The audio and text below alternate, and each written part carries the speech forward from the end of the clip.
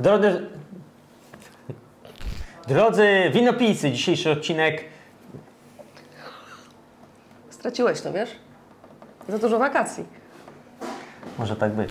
Drodzy winopijcy, dzisiaj zabierzemy Was w miejsce, w którym jeszcze nie byliśmy, a mianowicie do... Libanu. Oglądajcie koniecznie do końca.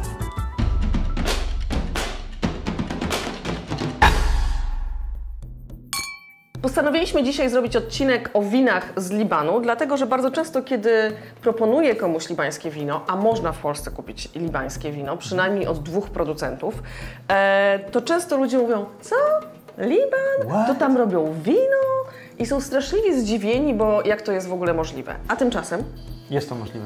nie tylko jest to możliwe, ale Liban jest właśnie w tym miejscu, w którym winiarstwo się zaczęło. Jest kolebką Jest winiarstwa. kolebką winiarstwa. tak, ja słyszałem tą historię wcześniej, chociaż nie tylko oni chyba. Nie no, bo masz generalnie kolebka Próbują winiarstwa, to nie, nie to, że próbują, po prostu No. masz, masz ten y, region Gruzja, Tak. Liban, Mhm. y, Izrael. To jest kolebka winiarstwa. Po prostu ta część naszego globu jest kolebką Tylko między winiarstwa. sobą troszeczkę się kłócą, gdzie tak naprawdę ostatecznie Tak. Ale Generalnie mówi się, że Gruzja to jest 8 tysięcy lat, bo 8 tysięcy lat ma najstarszy ten e, dowód, tak, Fewri znaleziona w Gruzji. O Libanie mówi się, że na pewno 7 tysięcy lat temu już w Libanie uprawiano winorośl i wino robiono. Na pewno wcześniej niż w, wiesz, w starożytnej Grecji. Grecji, na przy... tak. Dokładnie, więc to jest kolebka winiarstwa i dlatego chciałabym, żeby przynajmniej nasi widzowie, drodzy winopijcy, już nigdy więcej się nie dziwili, że w Libanie robi się wino.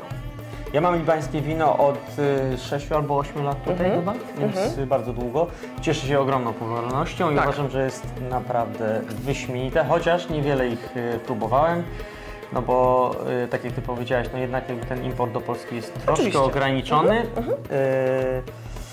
chciałbym tam pojechać. Mm, Ja też, No. ja też. Aczkolwiek sytuacja, Sytuacja właśnie Liban, można się w pewnym sensie dziwić, że w Libanie robi się wino ze względu na niesamowicie e, Skomplikowaną skomplikowaną tak. em, i dosłownie wybuchową sytuację w Libanie, bo tam nie Mhm. tylko co chwila wojna, to jeszcze co chwila jakieś dramaty absolutne, o których za chwilę jeszcze opowiemy Tak. e, przy okazji naszych Natomiast szklaneczek. y, warto zdecydowanie sobie poczytać troszeczkę o historii i, i mimo tych wszystkich przeciwności losu y, y, winiarze tworzą wina y, i nawet w czasach wojny domowej tworzyli Mhm. Tak. wina. I, Wojna domowa 1975, 15 lat do 90.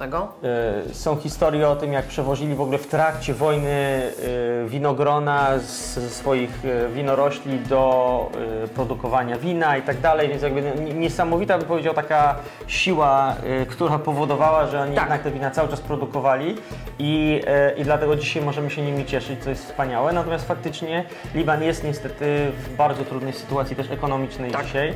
E, My nie jesteśmy kanałem o e, pieniądzach i ekonomii, więc możecie sobie więcej o tym poczytać, ale generalnie Liban ma po prostu ogromne zadłużenie, wydawał dużo więcej pieniędzy, aniżeli miał, generował w ramach swojego PKB. W związku z tym jest teraz na poziomie, nie znam. Ale dzisiaj jest na poziomie zadłużenie 150, tam między 150 a 200 tak naprawdę procent PKB, więc jest generalnie na skraju w ogóle bankructwa. Em, Spędziłem ostatni, e, w ostatnich tygodniach tydzień z, ze znajomą, która jest z Libanu i opowiadała o tym, jak strasznie się tam dzisiaj żyje. E, e, Brak prądu, Tak. e, e, brak innych mediów, generalnie problemy oczywiście e, chociażby z internetem, który dla nas jest codziennością. Zamknięte stacje benzynowe Zamknięte stacje benzynowe. Brak dostępu do banków. do Tak, w ogóle z pieniędzmi jest ogromny problem, czyli można wyciągać bardzo małe kwoty pieniędzy z banków i mimo tego, że ludzie zarabiają czy też mają duże oszczędności, to mogą wyciągać po tam na przykład do 100 dolarów maksymalnie z banku. Jest oczywiście ustalony kurs wymiany y, waluty, ale y, ponieważ tej waluty praktycznie nie ma, czy nie ma możliwości, żeby ją wymieniać, no to jest oczywiście też cały czarny rynek, gdzie ten kurs jest pięciokrotnie wyższy, czyli tak naprawdę waluta jest pięciokrotnie mniej warta aniżeli y, normalnie. Bardzo trudna sytuacja, ta akurat znajoma też y, wyjechała z Libanu, y, przeprowadziła się do innego miejsca ze względu na to, żeby jakby zmienić y, y, y, jakby to miejsce życia, bo faktycznie te, te trudności ekonomiczne są na tyle duże, że nie pozwalają tak naprawdę e, w miarę normalnie żyć, ale z drugiej strony ogromna siła ducha po Tak. zeszłorocznym wybuchu, o którym słyszeliśmy, e, e, ludzie odbudowywali sami swoje domy, e, biznesy, e, cały, znaczy właśnie no nie całe, ale jakby tą ogromną część miasta, właściwie z własnych środków, bez tak naprawdę wsparcia ze strony państwa i jakby no jednak przetrwali, żyją e, i walczą dalej i mają nadzieję, że, że uda się e, przejść ten trudny etap, więc z tego co wiem, e, Liban jest cały czas w jakichś rozmowach z, z Międzynarodowym Funduszem Walutowym o, y, o tym, ażeby w jakiś sposób uzyskać pomoc i jednak przetrwać tą sytuację, żeby nie mhm. musiał zbankrutować. Zobaczymy, co się wydarzy, ale taki długi, przydługi wstęp po to, żeby tylko powiedzieć, słuchajcie, y, że to jest jakiś mały, ale jest zawsze sposób na to, żeby wspierać, tak? W związku z tym y, oczywiście tam 50% ich produkcji idzie na eksport, Stany Zjednoczone, USA, Francja. Wielka Brytania. Y, mm, Przepraszam, Stany Zjednoczone, Wielka Brytania, Dokładnie. tak, Francja, nie, nie USA. E, troszeczkę idzie do nas, do Polski, więc następnym razem, jeżeli będziecie w knajpie, pytajcie e, albo w sklepie, może uda Wam się znaleźć butelkę, e, może uda Wam się spróbować tego wina. No a oprócz tego są takie małe ciekawostki, tak jak tutaj Tak. ja przyniosłem też szklaneczki, o których Ty też opowiadałaś w odcinku z Gdzie powinno w Trójmiasta. Trójmieście, Dokładnie. bo jeden z importerów wina, które mamy w kieliszkach jest właśnie z Trójmiasta. E, To jest importer, który się nazywa Wine Express i no opowiedz o tych szklaneczkach. To wiesz co, nie, ja niewiele o nich wiem, oprócz tego, że tylko mm, są y, produkowane w Libanie i że z tego co ja wiem chyba są z przetopionego szkła, y, prawda, z, Z butelek, z butelek właśnie, które się potłukły w trakcie tego wybuchu. wybuchu. zeszłorocznego. Tak, są E, różne więc kolory, są takim ale e, rodzajem wsparcia dla, dla winiarzy, którzy wtedy ja je dostałem na, y, od Krzycha na urodziny w tym roku, bardzo dziękuję Krzysiu. y, A ja w zeszłym roku sobie kupiłem po prostu. No. I mam je w domu również. A jeszcze Liban ma niesamowitego po prostu pecha, bo Mhm. rok w rocznicę niemalże wybuchu w Bejrucie, kilka dni temu, e, czy tam kilka tygodni temu, znowu był wybuch bardzo duży, jakieś cysterny, czy jakieś Mhm. cysterny i, i znowu były kłopoty. Ja też mam znajomych w Libanie, którzy mówili, że właśnie brak prądu, brak internetu, brak dostępu do mm, stacji benzynowych i No łatwo, łatwo do... nie mają, nie tak. zazdrościmy. Jeżeli tylko e, w jakiś sposób możemy, no to staramy się e, pomagać. E, Ale zachęcamy do tego, żeby odkrywać ten zakątek, jeżeli Mhm. chodzi o winiarstwo. Więc teraz Trochę troszeczkę więcej o samym Libanie Tak. winiarskim. E, No bo historia, no to już wiemy, 7000 lat historii, Mm, em, bardzo, bardzo burzliwa historia, jeżeli chodzi o jeżeli chodzi właśnie o różne wojny Mhm. i tak dalej, i tak. E, Szczęśliwe lata panowania Fenicjan, e, 2,5 tysiąca lat e, panowania Fenicjan, to e, kiedy to... żeś się cofnęła troszeczkę. Nie no, naj, bo zaczynam tak naprawdę, Oh że, że szczęśliwe lata No. panowania Fenicjan, kiedy to e, rozwój winiarstwa był bardzo, bardzo duży, a potem już najróżniejsze burzliwe historie, aż do, aż do bardzo burzliwej, bu- burzliwej e, historii ostatnich kilkudziesięciu lat. I tak naprawdę widać, że to nie jest koniec w związku też z tym, co się dzieje w Afganistanie. Mhm. Liban również bardzo jest, e, patrzy, patrzy zaniepokojony w tamtą stronę, mm, e, w tamtą stronę naszego kontynentu. E, Również jeżeli chodzi o rozwój winiarstwa, ważny wpływ mieli francuscy jezuici em, pod koniec, w połowie XIX wieku, którzy to w, mm, w Dolinie Bekka w Libanie e, zaczęli e, sadzić winorośl, głównie winorośl południowo-francuską, takie szczepy jak Senso, który jest do dzisiaj jednym z najważniejszych szczepów e, w Libanie, a Dolina Bekka to jest właśnie to miejsce, o którym należy myśleć, kiedy myślimy o winiarstwie w Libanie. Dolina Bekka nazywa się doliną, ale tak naprawdę mm, jest położona powyżej 1000 metrów nad poziomem morza, więc jest bardzo wysoko położona i bardzo wpływa to na to, jak uprawia się winorośl i jak smakują tamtejsze wina. E, Jeżeli chodzi o odmiany, to są właśnie to odmiany głównie francuskie, południowo-francuskie, takie jak Cinsault, Carignan, e, Grenache, e, co tam jeszcze, Syrah oczywiście. A jeżeli chodzi o to, jaki tam jest klimat, no to mamy położenie 1500 metrów nad poziomem morza, bardzo duże nasłonecznienie, bardzo aromatyczne są to wina, o bardzo dojrzałych polifenolach w przypadku win czerwonych, o bardzo, bardzo takich dojrzałych po prostu aromatach, a równocześnie, i to, za to kocham na przykład naszego Chateau Musach, o którym zaraz wspomnimy, niesamowita świeżość, ponieważ przy tak wysokim położeniu nad poziomem morza mamy bardzo duże różnice między temperaturą za dnia i temperaturą w nocy, e, w związku z czym możemy nawet przy tak dojrzałych winogronach zachować przepiękną świeżość e, win. Najstarszym producentem w Libanie jest Chateau Ksara, założony w 1857 roku, właśnie wtedy, kiedy jezuici przyjechali do Libanu ze swoimi, e, ze swoimi krzaczkami e, południowo-francuskich e, odmian. Mm, Ale inni znani producenci i dwie winiarnie, które można znaleźć w Polsce, to jest Domaine de Tourelle oraz Chateau Musar. Chateau Musard, który jest po prostu legendą. Tak. Ale to w ogóle nie jest tylko legenda libańskiego winiarstwa, aczkolwiek jest to absolutnie e, legenda, a zwłaszcza e, człowiek, którego nazwisko jest na każdej etykiecie, Gaston Auchard, który naprawdę, to jest właśnie ten człowiek, który w czasach wojny domowej w latach 70.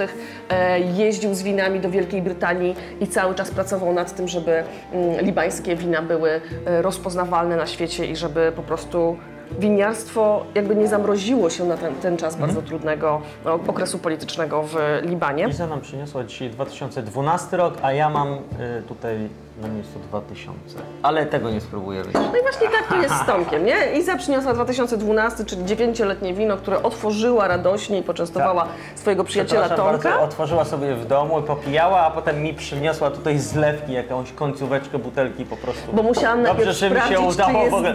Tak, tak, tak, tak, tak. Musiałam sprawdzić, Poczekaj, czy jest, jest, dobry. To jest jakiś w ogóle syf. Co to jest? Z, jakiś osad mi tu O, No ale wiesz Tomek, że osad nie jest zły, mam nadzieję, że widziałeś nasz odcinek o osadzie. E, Jeżeli z kolei wy nie widzieliście jeszcze odcinka o osadzie, to obejrzyjcie koniecznie. Osad nie jest zły, a w Chateau Musar osad jest absolutnie normą. Powiemy zaraz o tym, dlaczego taką normą jest. Dobrze, wracając do Doliny Bekka, słuchajcie, tam jest 300 słonecznych dni w roku. No to jest słonecznie. To jest po prostu absolutnie cudowne i równocześnie mm, jest to dolina, która jest z jednej strony chroniona przez góry, które się nazywają e, e, Liban Mountains, a z drugiej strony Anty-Liban Mountains. Zajebiste nazwy, nie uważasz? Antyliban. Antyliban. Góry Antyliban, tak się nazywają. Em, nie, nie mogłam w to uwierzyć, kiedy, kiedy czytałam kiedyś o, o Libanie i o geografii, że tam są Liban i Antyliban góry. E, Ta, dobrze. ta dolina w ogóle to jest właściwie jedyny tam region, prawda? Tak, tak, 90% wina No. pochodzi z Doliny Bekka, po prostu, 90%. Nie wiem, czy ją Bekka nazywasz, ona się nazywa Beka chyba. A, przepraszam. Pisane Beka AA. Nie, pisane jest BK. Nie, jest pisane BKA. BK. No powiedz mi, że tak jest, no. Look Pokaż. this. BK. A, dobra. Dlaczego ja mówię Bekka? Nie wiem. Beka. Bo Beka. na, na pewno nie ma dwóch K, tak, Tak, czy ja inaczej. jakoś tak... Beka. Beka Valley, Beka Valley, dobrze, jeszcze raz. Beka Valley, no. Beka Valley. Tak. Na Ja- pewno Nie wiem, nasi tak mi znajomi- naturalnie, wiesz, tak jak niektórzy Tak. nie są w stanie powiedzieć Barolo, tylko mówią zawsze Barollo. Kojarzysz to? Nie są w stanie, po prostu poprawiam ich, a oni Barollo. To tak ja z, z Beką mam. Albo E, Espresso. Espresso, tak. No, są takie jakieś słowa, ten, Barollo. litery, Barollo. E, dobrze, przepraszam bardzo e, wszystkich, którzy mieszkają w Libanie, albo wszystkich, którzy e, Nas oglądają i się nas oglądają i się krzywią, jak ja Wiedzą, wymawiam tą wiedzą, nazwę. że to jest inna zupełnie dolina. Dobrze. Jesteśmy w innym miejscu aniżeli Iza. Więc jeżeli chodzi o wina, to teraz szybko przejdźmy do No. win. Pokażmy dwa wina, które Tak. mamy dzisiaj do spróbowania, które ja przyniosłam i otworzyłam dla Tomka. Ja żadnej bieli nie piłem jeszcze z O, Libanu. więc pierwsza biel z Libanu, e. Domaine de Tourelle i teraz szczepy. Będziesz Tomek bardzo zadowolony, Uwaga. bo 65% to jest twój ukochany Viognier. Mhm. No bo znowu, Dlaczego mówię kochany znowu? no bo ty lubisz Viognier. Nie, no tak, ale nie, nie jest moim najulubieńszym jakimś. No No. wiem, Albarinio też kochasz, nie? Dobrze, ale w każdym razie 65% to Viognier, e, 20% to Chardonnay, następnie mamy lokalną białą odmianę, Mhm. która się nazywa Obeidi. Tak. Obeidi. Na Są- pewno są, znowu to są źle wymawiam. lokalne odmiany. Tak, i dokładnie. podobno zostało właśnie sprawdzone, że Obeidi w 100% jest lokalną odmianą. To nie jest tak, że skądś przywędrowało. Mhm. Obeidi jest naprawdę lokalną odmianą i d'Alexandre, d'Alexandrie, e, czyli muszkat, muszkat aleksandryjski, e, 9%. To są takie właśnie mm, e, odmiany, które często znajdziecie w białych winach libańskich. Also, ja czuję e, spory alkohol. Tak, alkohol czuć tutaj. Alkohol Mhm. jest jakby spory. On Ale tak- ten alkohol tak, też daje ciało. Tak, ona On nam też wraca. daje taką mm, syropowość tego wina. Jest bardzo fajna wytrawność i taki jakiś element takiej goryczy, Goryczy, ale takiej, tak, ale takiej bardzo przyjemnej goryczy, Tak. nie takiej negatywnej, tylko takiej, takiej jakby dorosłego smaku, tak bym to określił. Taki, taka, no w sensie takim, wiesz, że gorycz to jest coś, co na przykład dzieci nie lubią za bardzo Tak, goryczy w jakikolwiek sposób. tak. Dorośli jakby już smakowo jakby y, gorycz akceptują, a ona tutaj jest taka w pierwszym momencie trochę jest zaskakująca, że ona jest tak intensywna, Mhm. ale jest bardzo w ogóle Tak. przyjemna. Dla mnie tu jest i kwasowość, i gorycz, i zaskakująco trochę słoności w tle. I jest pewna kwiatowość, taka, Tak, mhm. mm, i, też, i też świeżość takich e, egzotycznych nawet Ale jest, owoców. ale jest owoców trochę w nosie. Tak, takich egzotycznych i właśnie. Jest, y, tak, no, czyli mówisz to, co, Mhm. są kwiaty, i, y, bo nosie powinien był zacząć, ale Tak, takie akacje, jakieś takie białe kwiaty. słodkie, E, takie egzotyczne, mhm. białe owoce, taka, mm, nie wiem, może trochę jakiś kierunek mango. Jak najbardziej. Mm, No i teraz właśnie w ustach z kolei jest całkiem sporo struktury. To nie jest takie cienkie wino, wiesz, to nie jest takie Sauvignon Blanc nowozelandzkie, gdzie w ustach jest po prostu takie super szczupłe. To nie jest też wino, które było w beczce. Jednakże jest to wino, które zdecydowanie czuć takimi warstwami w ustach, jest trochę gęstsze ze względu właśnie chociażby na ten alkohol, kwasowość, gorycz i taką kompleksowość. Bardzo ładne wino. Ale to jest takie wino raczej nie do sączenia solo, tylko to jest wino, które prosi się o e, jedzenie według mnie. No tak, chociażby nawet ze względu na jakby poziom Na alkoholu. poziom alkoholu, tak. Mm, I, I w sumie y, no, dosyć sporą też kwasowość, tak, która jakby z tym, y, z tym się wiąże, więc nie no, ale bardzo w ogóle ciekawe. Tak. Pier- mówię, pierwszy raz w ogóle próbuję białego y, z Libanu.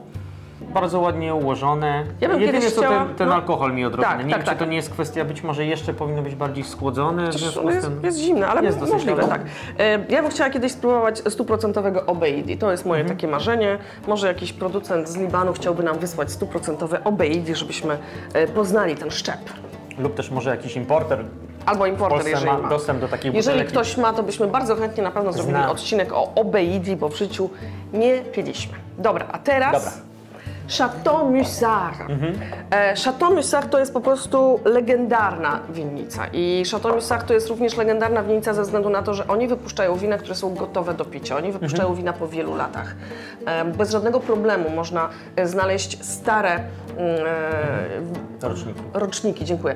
Stare roczniki Chateau Musard. Ty masz 2000 Chciałam coś dodać, ale ty masz 2000 Nie ma co dodawać, ja prostu, mam po prostu dokładnie. 2000. Po prostu masz 2000. Ile kosztuje takie 2000? O, to jest też ciekawe. Bo to nie są wina, które są diabelnie drogie. 200 kilkadziesiąt złotych. Że jak na, jak na, jak na 21-letnie U wino. ciebie w sklepie już? Tak. Mhm. No więc właśnie. Chcesz kilka sztuk? E, jasne. Nie, ale w ogóle one jest też bardzo ograniczone ilościowo. Tak, Mamy ale mimo wszystko bo- niesamowite jest to, że można dostać takie Tak. wina, że ja też piłam, ostatnio piłam, e, też rocznik, no, przyznam Ci się, że rocznik 2000 piłam e, kilka dni temu, bo jeden z gości restauracji przyniósł i mnie poczęstował, a miesiąc temu piłam 2002, e, bo inny gość No. przyniósł i poczęstował. W ogóle okazało się, że Chateau wśród ludzi, z którymi się spotykam jest niesamowicie Nie, bo on popularny. jest, jest, jest przede wszystkim bardzo znany. jednak, Bardzo tak? znany. Wśród To jest- winiarzy, tak. Mhm. ludzi, którzy wina lubią, lubią, piją często, no to Chateau Musar ma taki status ikoniczny. Ikoni o, ikoniczny, dokładnie. No więc możecie znaleźć w absolutnie fenomenalnych cenach stare roczniki. Jedną rzecz Ci tylko powiem, Tomku, że kiedy dla gościa otwierałam Chateau Musard dwa- y, rocznik 2000, korek praktycznie w środku nie istniał. Korek był Wow. totalnie rozwalony. Nie byliśmy w stanie, nie byłam w stanie ani użyć zwykłego korkociąga, to w ogóle wiesz, zapomnij, bo wkładasz, a on jest co, po prostu wąsy, jak gąbka. Wąsy również nie Też były w stanie, ponieważ ten korek się nie trzymał. On był już To po prostu... moją metodą na, na ten?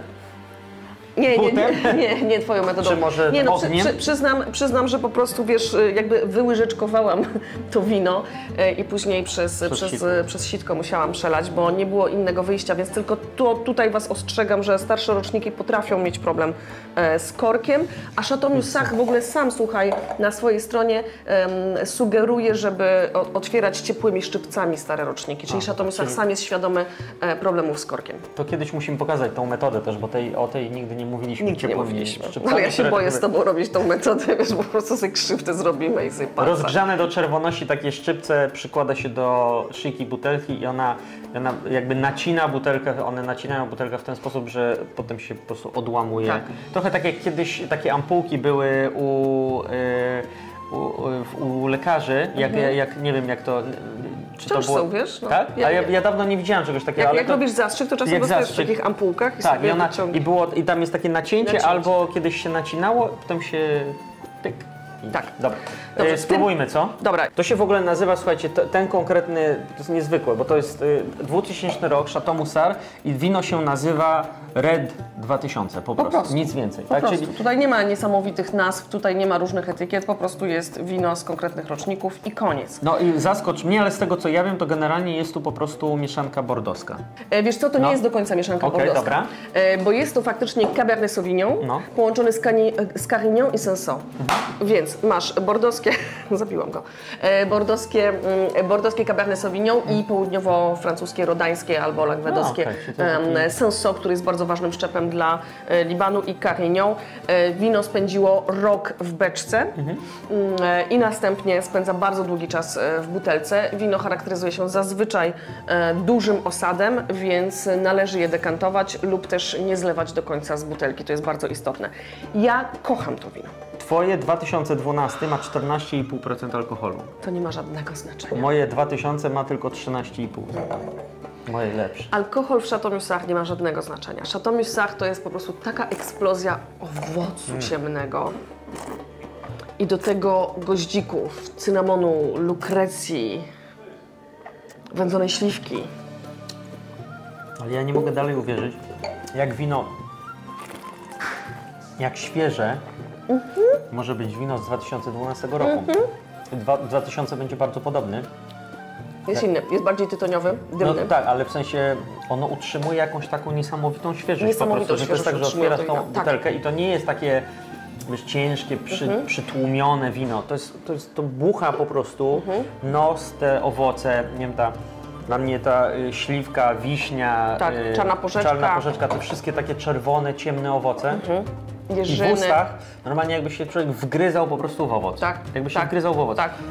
Bardzo delikatna tanina, taka bardzo ładnie ułożona. kwasowość czarnej porzeczki nawet. Zupełnie nie, nie wysusza, więc jakby ten rok w beczce dodał tylko tak naprawdę charakteru, ale nie, Tak. nie dodał tych tanin, które Nie dodał lubimy. tanin, Taki- dokładnie.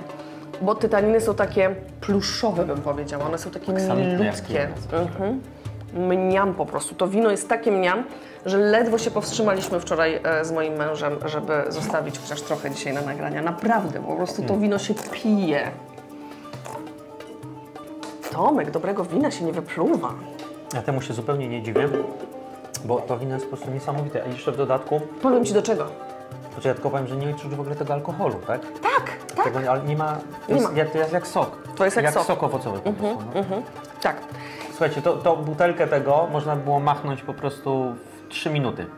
Dokładnie tyle nam zajęło wypicie tego. Dobrze, że cokolwiek zostało i jesteś Słuchaj, do, ale jeszcze Ci powiem do czego. Wczoraj była e, grana kaczuszka Okej, no. z sosem śliwkowym, ale takim fest z sosem śliwkowym i po prostu... No, bo się śliwki pojawiły. Tak, bo ten moment połączenia sosu śliwkowego z tym winem, które jest tak bardzo śliwkowo-dymne, mistrzostwo świata. Ale też dawałaś jakieś właśnie goździki do sosu i tak dalej? Czy sos Wiesz był taki nie ja robiłam ten sos, ale był bardziej owocowy niż goździkowy. Nie było tam przypraw, nie było tam przypraw.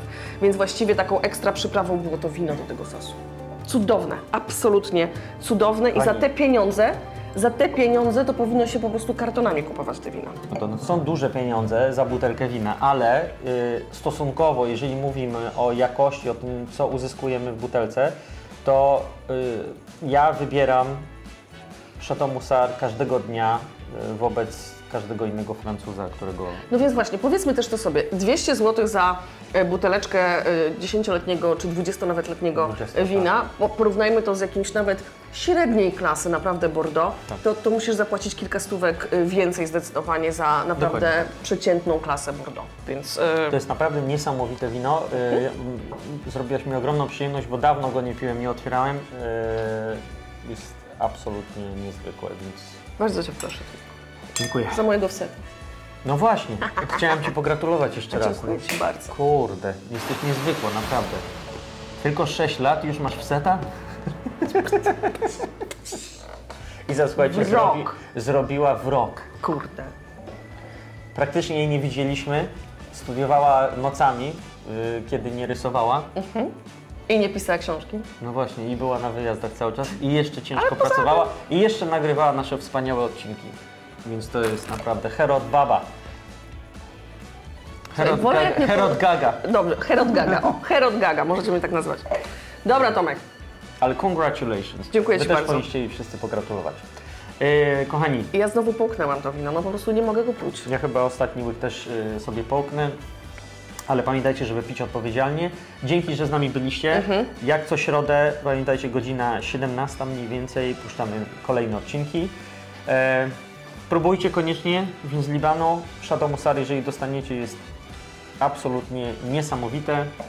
Domaine de Tourelle, oni robią też czerwone oczywiście. Komentujcie, czy piliście jakieś inne wina z Libanu, czy byliście Dokładnie. w Libanie, czy może wy byliście bezpośrednio w Musar. W ogóle jest genialna książka, Musar wydało książkę o swojej, Tak? e, e, o historii Musar. Ja nie czytałam tej książki, ale można ją kupić na, em, przez internet i zamierzam właśnie sobie kupić i przeczytać tą książkę, chyba że Musar samo nam wyśle tę książkę, bardzo bym e, prosiła ewentualnie, bo jest całkiem droga. Niestety. Ale koniecznie musimy się tam wybrać. No, ja bardzo żałuję, że nie spokojniej, nie? Mhm. zdążyłem. Tak, bardzo żałuję, bo podobno jest to wspaniałe miejsce. E, szczególnie właśnie y, kulturowo, ale też kulinarnie, Mhm. jeżeli chodzi o, o wina. I każdy Libańczyk, którego poznałam, był przesympatyczny. Tak, też ludzie podobno są Tak, niesamowici tak. zupełnie. Także. E, dzięki jeszcze raz, że z nami byliście. Komentarze pod spodem, lajki, jeżeli się podobało. Suby E, poprosimy. Pamiętajcie też o naszym patronajcie. Dziękujemy wszystkim naszym e, wspierającym. To dzięki Wam możemy kręcić kolejne odcinki. Zapraszamy. I otwierać takie No. wina. Pa! Do zobaczenia do następnego odcinka. Pa! Drodzy winopijcy, jeżeli jeszcze nie widzieliście naszego odcinka o najlepszych miejscach na zakupy winne w Gdańsku, w Trójmieście, to koniecznie zobaczcie go tutaj.